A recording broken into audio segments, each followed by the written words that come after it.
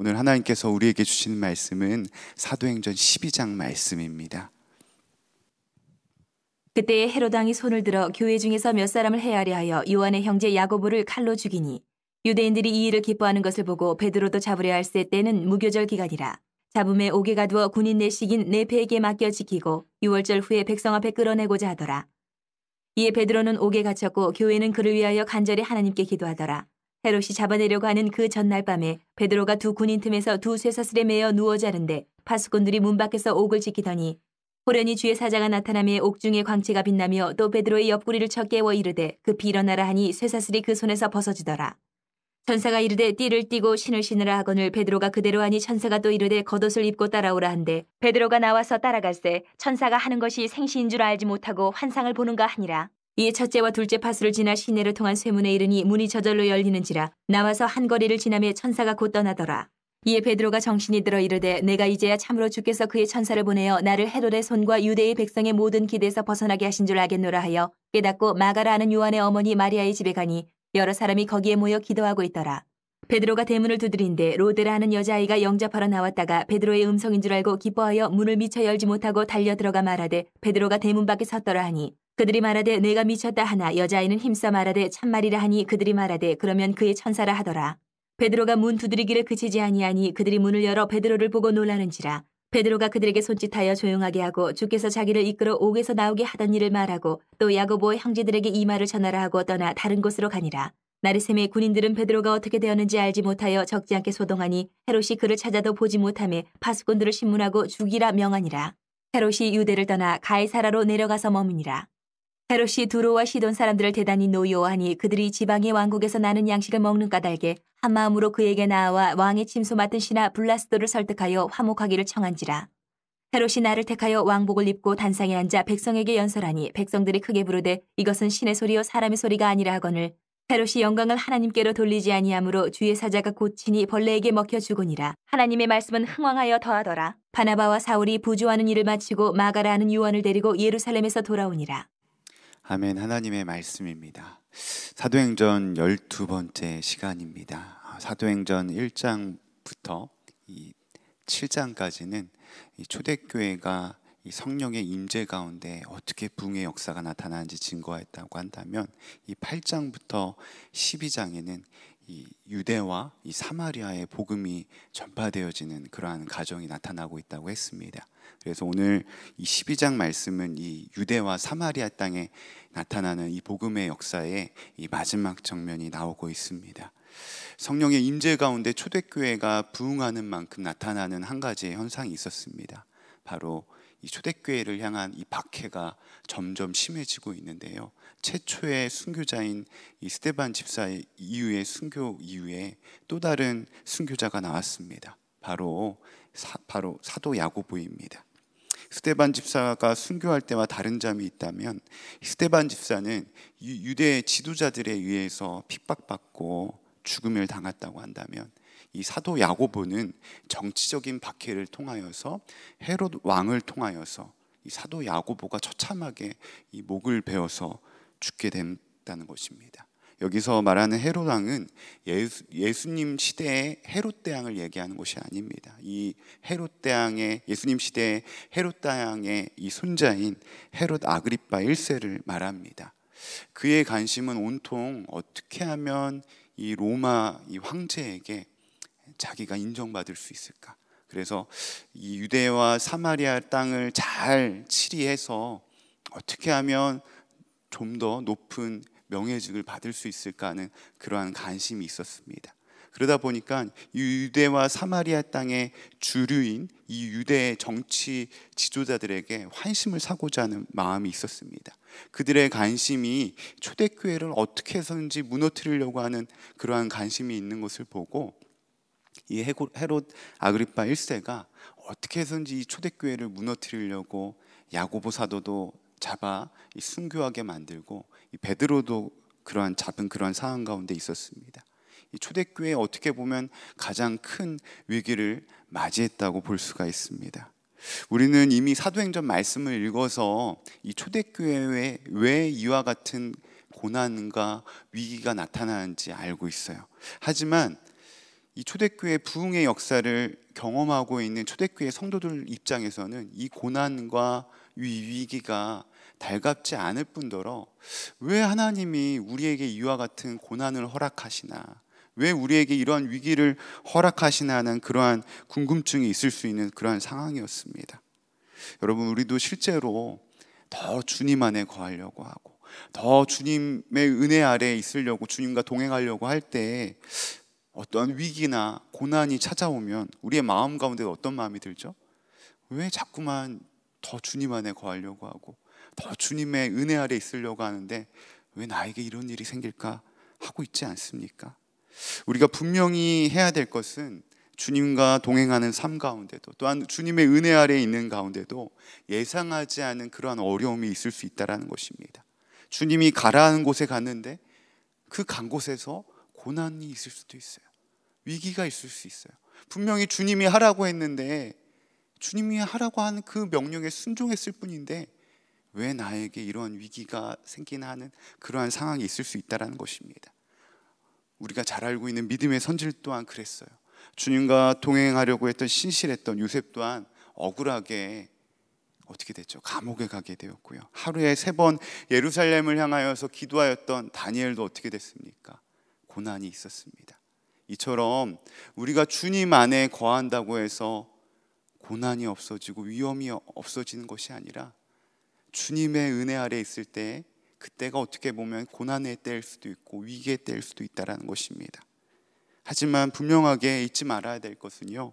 그 고난 속에서도 이미 함께하여 주시는 주님입니다. 위기와 고난은 어떻게 보면 우리에게 유익이 있다고 말하는데 가장 큰 유익은 우리의 신앙의 민낯을 바라볼 수 있다라는 거예요. 다른 말로 말하면 내가 무엇을 믿고 있는지 정확하게 볼 수 있다라는 거예요. 고난 때문에 내가 주님을 믿고 있는지 아니면 여전히 주님 아닌 것들을 붙들고 있는지 분명하게 드러난다고 드러나고 있다라는 것입니다. 이 초대교회 성도들은 위기 속에서 어떻게 반응하고 있습니까? 오늘 사도행전 12장은 그것에 대해서 분명히 증거하는 거예요. 5절과 12절입니다. 같이 한번 볼까요? 제가 봉독합니다. 그를 위하여 간절히 하나님께 기도하더라. 12절.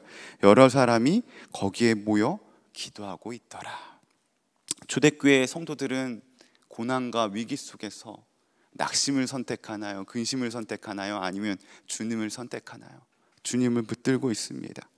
초대교회 성도들에게 베드로를 또한 잡혀 들어갔다라는 그러한 소식이 야고보처럼 죽는 것이 아닌가 걱정하고 근심하는 것이 아니라 그들은 두려워하지 않고 모이기를 힘쓰고 있습니다.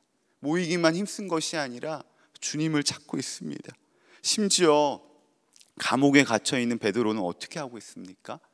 오늘 말씀에 보니까 그가 잠들어서 주의 천사가 그의 허리를 세게 때려서 깨울 정도로 깊은 잠에 들었다고 말씀은 증거하고 있습니다.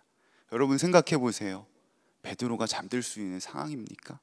당장 사절 말씀을 보면 헤롯이 유월절 이후에 유대인들의 한심을 사기 위해서 베드로를 야고보와 같이 죽일 것을 결단한 상황이었어요. 그런데도 베드로는 어떻게 하고 있죠? 지금의 상황에 반응하면서 죽을 것에 대해서 염려하고 어떻게든지 이 상황을 모면하려고 노력하는 것이 아니라 그가 깊은 잠에 들었대요. 여러분 어떻게 초대교회 성도들은 위협 앞에서 기도로 반응하고 있고 베드로는 당장 죽을지 모르는 그러한 상황 가운데도 잠을 잘 수 있었습니까? 그 베드로에게 죽음이 문제가 되지 않고 어떠한 고난과 위협이 상황이 위기가 되지 않을 수 있었던 이유는 오순절 날 임하였던 성령님이 내 안에 계신 그 성령님이 실제가 되니까 모든 염려와 두려움을 온전히 맡겨드릴 수 있었던 것입니다. 죽음이 두렵지 않은 거예요. 고난이 더 이상 문제가 되지 않는 거예요. 여러분, 우리는 분명하게 어떠한 고난의 상황을 맞닥뜨렸을 때, 위기를 맞닥뜨렸을 때 점검해야 돼요. 나는 무엇에 반응하고 있는가? 무엇을 붙들고 있는가? 우리의 싸움은 혈과 육의 싸움이 아니라고 했어요. 영의 싸움이라고 했어요. 고난이 두렵고 위기가 근심이 되지만 그 상황 속에서 나는 무엇을 붙잡고 있냐는 거예요. 무엇에 반응하고 있냐는 거예요. 매 순간 선택해야 돼요. 주님께서 허락하여 주시는 평강의 은혜 가운데 거할 것인가? 아니면 당장 나에게 나타난 고난과 위기 상황에 반응할 것인가? 선택의 문제예요. 여러분, 우리의 치열한 삶의 현장 속에서 내가 주목하고 바라보고 있는 것이 무엇입니까? 기도한 것과 기도에 해야지 하는 마음이 다른 것처럼 내가 주님을 바라봐야지와 주님을 바라보는 것이 실제로 다른 거예요. 내 안에 찾아오신 그 성령님 안에 거한다고 한다면 더 이상 우리가 늘 고백하는 것처럼 내 안에 계신 그 주님 때문에 고난이 어떠한 핍박이 어떠한 상황이 환경이 나에게 문제가 되지 않는 것입니다. 3년 전 목사 부부 수련회 때 어, 알렌 크라이더의 이 회심의 변질이라는 책을 가지고 우리 목사 공동체가 함께 빛 가운데 교제한 적이 있었습니다. 이 책에서 말하는 것은 딱 한 가지였어요. 회심이 변질하게 된 것에 대해서 초대교회에 대해서 이야기하면서 이 초대교회의 성도들은 예수 그리스도가 누구인지 어, 그리고 예수님의 복음을 들었다고 한다면 그의 삶이 정말로 변화되었는지 검증하고 확인을 한 다음에 세례를 주고 정식적으로 이 공동체의 일원으로 받아들였다라는 거예요. 근데 현대는 어떻죠? 현대는 예수님의 복음에 대해서 전하고 신앙 고백을 하면 그의 삶이 변화된 것과 상관없이 어떻게 하죠? 세례를 줍니다. 이 알란 크레이더 목사님은 그것에 대해서 말하면서 회심이 거기서부터 변질 되었다고 말하는 거예요. 동일한 거예요. 우리가 정말로 내 안에 찾아오신 그 예수님을 믿는다고 말합니다. 나는 예수님 믿는다고 말합니다.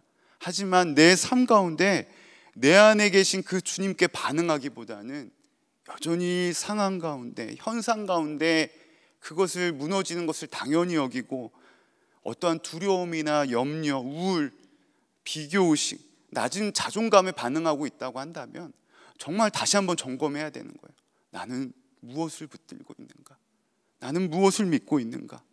여전히 나는 연약하고 부족할지 모르고 여전히 상황은 안 바뀔지 모르지만 분명하게 잊지 말아야 돼요. 내 안에 예수님을 믿음으로 이미 찾아오신 성령님이라니까요. 내 안에 함께 하신 주님이라니까요. 베드로는 도무지 앞길을 예측하기 어려운 이 상황 가운데도 자신의 판단과 상황을 어떻게 한 거예요? 포기한 거예요? 아니에요. 주님께 맡겨드린 거예요. 완전하게 맡긴 거예요.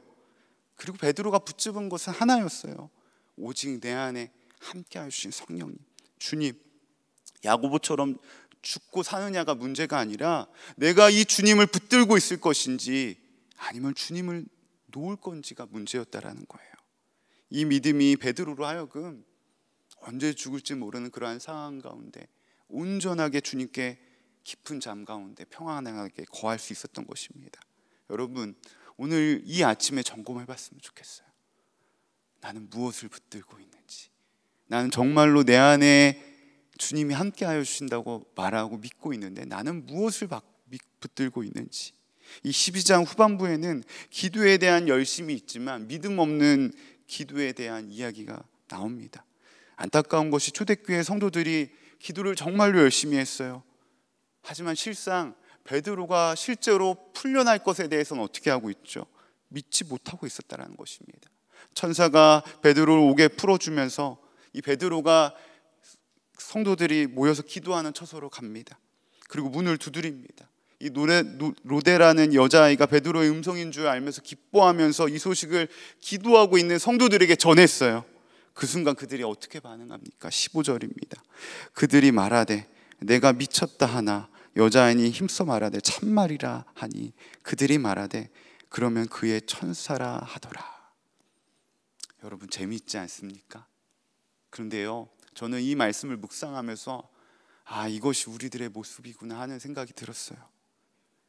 열심히 기도했는데 열심히 기도했는데 미쳤다고 합니다. 어떤 사람은 베드로의 천사가 온 것이라고 말합니다. 정말 간절히 기도하지만 베드로가 확실히 살아서 풀려날 것을 믿었던 거예요. 믿지 못했던 거예요. 믿지 못했던 거예요. 여러분, 오늘 이 성도님들의 모습을 보면서 어떤 생각이 듭니까?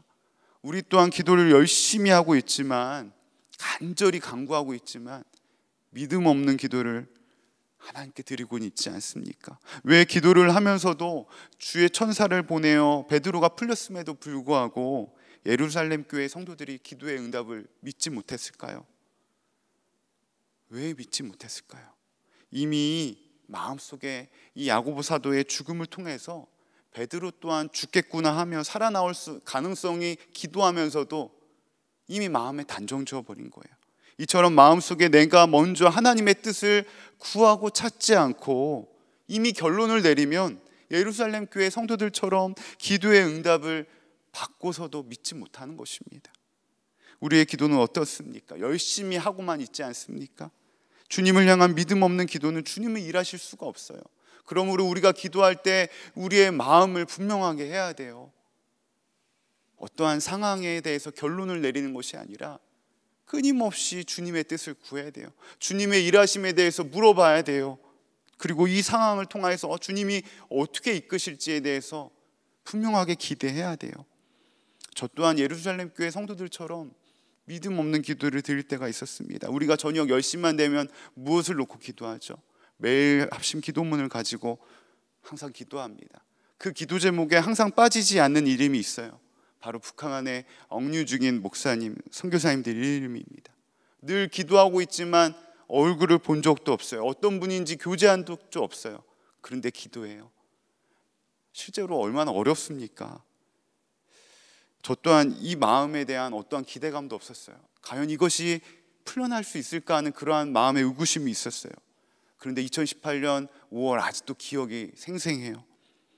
우리가 함께 기도했던 김정철 목사님, 김학성 선교사님, 김상덕 교수님이 풀려난 거예요. 다음 날 아침에 뉴스에 이 공항에서 이 비행기가 도착하고 김동철 목사님이 나와서 손을 번쩍 들고 행복합니다. 살았습니다. 감사합니다. 하는 그러한 인터뷰 내용을 보면서 마치 하나님이 저에게 그렇게 말을 한 것 같아요. 영동아 보고 있니? 보고 있어? 그 위에 우리가 함께 계속해서 기도했던 이 중국의 온성도 목사님 실제로 하나님이 어떻게 역사하셨는지 말씀을 통해서 우리는 금요성령 집회를 통해서 들었죠. 그런데 우리는 어떻게 기도했나요? 어떻게 반응하고 있었나요? 우리 스스로 이미 기도하면서도 우리의 생각으로 결론 내리고 있지 않습니까? 안 될 거야. 어려울 거야. 여전히 억류 중인 김국기 목사님, 김정훈 목사님, 최춘기 선교사님, 장문석 집사님. 우리는 어떻게 기도하고 있습니까? 정말 많은 시간이 흘렀어요. 그런데 우리는 어떻게 반응하고 있냐는 거예요. 예루살렘 교회 성도들과 같이 아무런 기대감 없이 열심히 기도만 하고 있지 않습니까? 우리는 분명하게 주님의 뜻을 구해야 됩니다. 주님 이 상황 속에서 우리에게 주시는 메시지는 무엇입니까? 그리고 구해야 돼요. 분명한 믿음. 주님, 이 상황을 통하여서 역사하실 그 주님을 기대합니다. 여러분 어떠한 막다른 길에, 길에서 막막함 속에 계십니까?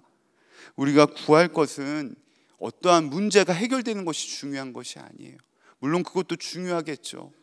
어떠한 질병이 회복되는 것도 중요하겠죠. 그런데 그것보다 더 중요한 것은 이 막막함 속에서도 어려움 속에서도 주님을 향한 그 믿음을 놓지 않는 것. 그 주님을 향한 갈망을 의심하지 않는 것. 그것이 기도의 응답보다도 오늘 말씀을 통하여서 분명하게 나타난 예루살렘 교회 성도들처럼 더 중요하다는 것입니다. 여러분 잊지 맙시다. 이 땅의 모든 것이 하나님의 주권 아래 있습니다. 말씀은 분명하게 증거해요. 베드로전서 5장 7절에서 8절 말씀입니다. 우리 세번역 성경으로 한번 같이 읽어 보겠습니다. 시작. 여러분의 걱정을 모두 하나님께 맡기십시오. 하나님께서는 여러분을 돌보고 계십니다. 정신을 차리고 깨어 있으십시오. 여러분의 원수 악마가 우는 사자와 같이 삼킬 자를 두루 찾아다닙니다. 우리가 너무나도 잘 아는 말씀입니다. 우리의 믿음이 상황이 지배를 받지 않기 위해서는 끊임없이 깨어 주님을 찾아야 되는 것입니다. 베드로를 위하여 기도하였던 예루살렘 성도들과 같이 허탈한 그러한 상황을 맞이해서는 안 되는 것입니다. 결국 오늘 사도행전 12장 유대와 사마리아 땅의 복음의 역사는 어떻게 마무리됩니까? 큰 박해도 있었어요. 초대교회 위기도 있었어요. 하지만 말씀은 분명히 증거예요. 하나님의 말씀이 흥황하였고 하나님의 말씀이 복음이 아무리 인간의 힘으로 막으려고 해도 하나님의 역사는 계속해서 되었다라는 것입니다. 박해가 상황이 환경이 문제가 되지 않았습니다. 근데 분명하게 말씀을 통하여서 깨닫게 되는 것이 있습니다. 바로 그것은 성령의 임재를 분명하게 누린 믿음의 사람들을 통하여서 박해 가운데도 환경 가운데도 그것이 문제가 되지 않고 하나님의 나라가 하나님의 복음이 전파되었다라는 것입니다. 오늘 이 아침에도 분명하게 주님은 이러한 성령의 임재를 분명하게 누리고 있는 믿음의 증인들을 찾고 계십니다. 그 믿음의 증인의 현장 가운데 온전하게 오늘 놀라운 성령의 역사를 경험하였던 많은 사도행전의 증인들처럼 쓰임 받을 수 있는 저와 여러분 되시기를 간절히 축복합니다. 오늘 세 가지 말씀 붙들고 함께 기도하기 원합니다. 어, 첫 번째로 기도할 때는 5절 말씀 붙들고 12절 말씀 붙들고 기도하기 원합니다. 그를 위하여 간절히 하나님께 기도하더라. 여러 사람이 거기에 모여 기도하고 있더라. 초대교회에 큰 위기가 찾아왔을 때 초대교회 성도들 어떻게 했습니까? 끝까지 기도의 자를 지키며 기도의 불을 지켰던 것처럼 우리가 이 시간 기도하며 나아갈 때 한국 교회가 위기라고 말합니다. 나도 모르게 한국 교회에 대해서 판단하고 평가만 하고 있지 위기라고만 말하고 있지 실제로 기도하지 않고 있지는 않습니까? 오늘 이 시간 다시 한번 기도하며 나아갈 때 한국 교회 성도들과 모든 목회자들이 기도의 불을 지피게 하소서. 놀라운 기도의 부흥의 은혜 역사를 경험하게 해달라고 시간 합심으로 기도하며 주님께 나아갑니다. 기도합니다.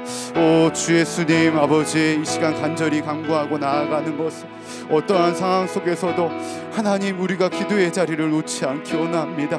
하나님 상황과 환경에 반응하지 않았던 것처럼 간절히 하나님 위기 가운데 기도하였던 초대교회 성도들처럼 하나님 모이기를 아버지 아버지 쉬지 않고 그들이 온전히 주님의 이름을 부르짖으며 기도하였던 것처럼 하나님 위기의 때가 기도의 때인 줄로 믿습니다. 어려움의 때가 하나님의 역사가 나타나는 때인 줄로 믿습니다. 주 예수님, 우리 안에 더욱더 기도의 은혜를 허락하여 주시옵소서. 아버지 위기에 반응하고 문제에 반응하고 어려움에 반응하는 것이 아니라 이미 내 안에 찾아오신 그 주님께 반응함으로 주님을 향한 간절함으로 나아가기 원합니다. 하나님 한국 교회가 위기라고 말하는 이때 하나님 우리가 위기에 반응하고 판단하고 평가하는 것이 아니라 아니라 하나님 초대교회 성도들과 같이 기도하며 주님께 부르짖으며 나아가기 원합니다. 우리 안에 기도의 부흥을 허락하여 주시옵소서. 우리 안에 아버지 기도의 은혜를 허락하여 주시옵소서. 간절히 기도하며 믿음으로 반응하며 나아가게 하여 주시옵소서. 주님의 일하심을 주님의 역사하심을 분명하게 바라볼 수 있는 우리들이 되어지기 원합니다. 우리 안에 초대교회 성도들과 같이 아버지 간절히 주님을 찾고 간절히 주님을 부르짖을 수 있는 믿음의 은혜를 도하여 주시옵소서 우리의 기도를 주님께서 이끌어가 주시옵소서 주님을 기대합니다 우리 두 번째로 기도하며 나아갈 땐 15절 말씀 붙들고 기도하기 원합니다. 그들이 말하되 내가 미쳤다 하나 여자아이는 힘써 말하되 참말이다니 그들이 말하되 그러면 그의 천사라 하더라. 여러분 오늘 이 모습이 우리의 모습이 아닙니까? 우리의 기도가 단순히 어떠한 기대와 믿음 없이 드려지는 기도가 아니라 정말로 내 안에 함께 할 수 있는 그 성령께 반응할 수 있는 기도가 되어지기 원합니다. 하나님 두 번째로 기도하며 나아갈 때 하나님 기도의 열심이 열정이 아닌 내 안에 계신 성령님의 힘입어 믿음의 기도를 온전히 주님께 드리게 하여 주시옵소서라고 우리 다 함께 주님의 이름 한번 부르고 기도하며 나아갑니다. 주여 오, 주 예수님, 하나님, 하나님 나도 모르게 아버지 기도에 열심은 있었지만 아무런 믿음 없는 아버지 기도를 주님께 올려드리고 있지 않습니까? 하나님 철저하게 다시 한번 내 안에 계신 그 성령께 반응하며 나아갑니다. 하나님 믿음 없이 올려드리는 기도가 아니라 분명하게 함께 하시는 그 주님의 아버지요 기도를 옳게 돌려 올려드릴 수 있는 믿음의 은혜를 더하여 주십시오. 하나님 우리의 기도가 하나님 우리의 기도가 목적이 온전히 내 안에 계신 그 주님께로 향하여지기 원합니다. 하나님 기도에 열심만 있을 뿐 하나님 기도만 할 뿐 하나님 내 안에 믿음 없음을 회개하며 나아가오니 분명하게 아버지 붙들어 주시고 함께 하시는 그 주님 앞에 분명하게 믿음의 기도를 주님께 올려드리기 원합니다.